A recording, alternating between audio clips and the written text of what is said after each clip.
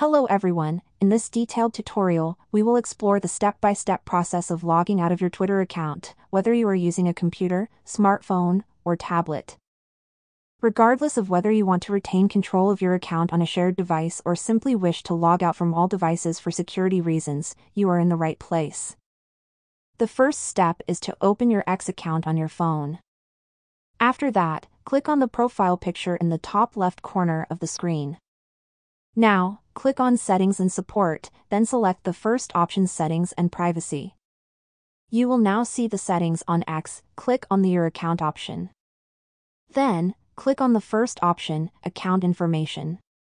You will be taken to a page where you can see various pieces of information related to your X account, but for now, we are only interested in the Logout button located at the bottom of the screen.